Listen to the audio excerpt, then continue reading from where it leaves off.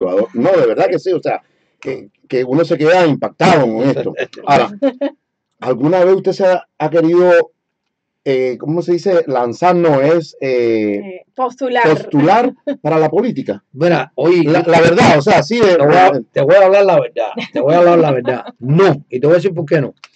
Yo creo que la política es muy complicada y la política realmente a veces el político tiene que decir cosas que no siente.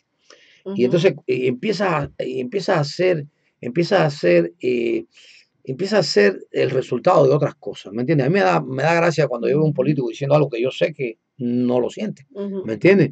Y yo sé también que a veces eh, tú tienes que decir cosas para complacer al votante tuyo. Y a lo mejor estás haciendo lo incorrecto.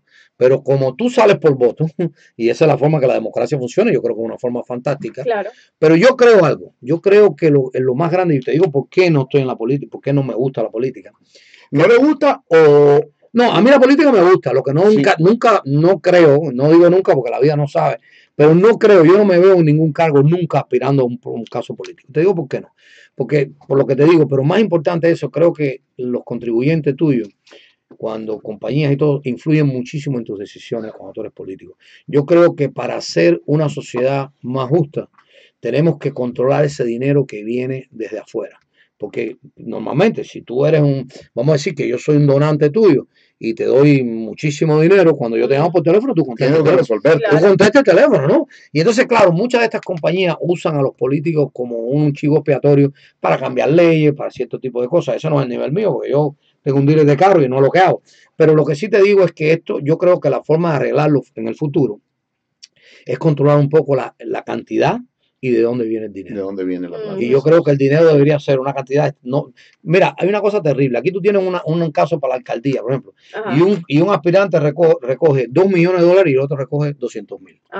Normalmente el de 2 millones de dólares, aunque sea el más malo del mundo, va a salir. Porque yo te puedo hacer un panfleto y mandárselo a todo el mundo, voy a estar en la radio todos los días, te voy a poner el que tiene 200 a lo mejor es el mejor candidato, pero no puede salir.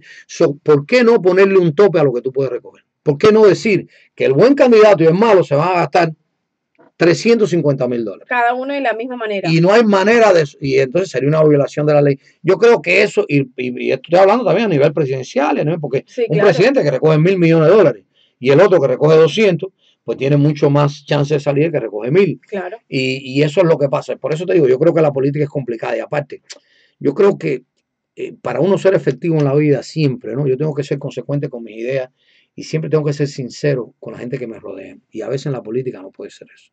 Muchísimas gracias. Así de verdad, que... de verdad que fue excelente. Muchísimas gracias Luis por todo esto. Y bueno, ya nos tenemos que ir, pero el 8 de agosto los esperamos a todos de Dora Lincoln, Ahí estaremos. of Kendall en Operation Back to School. Muchas gracias a toda nuestra audiencia de Cadena Azul el otro miércoles a las 5 de la tarde. Y Giovanni, despídete con la frase.